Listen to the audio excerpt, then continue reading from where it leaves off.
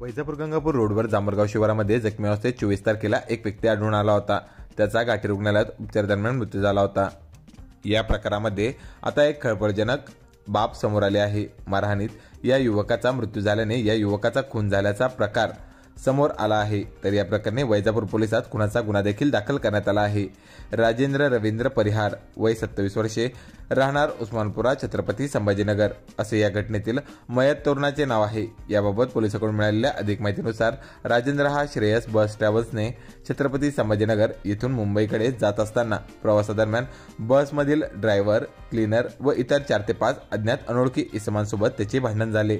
या भांडणामध्ये ट्रॅव्हल्समधील या लोकांनी त्याला ट्रॅव्हल्समध्ये मारहाण करत गंगापूर येथील शिवाजी चौकात देखील मारहाण केली व जीवे मारण्याच्या उद्देशाने स्टिकने मारहाण करून गंभीररित्या जखमी झालेल्या या युवकाला जांभरगाव येथील एका दुकानासमोर रोडच्या बाजूला आणून टाकले.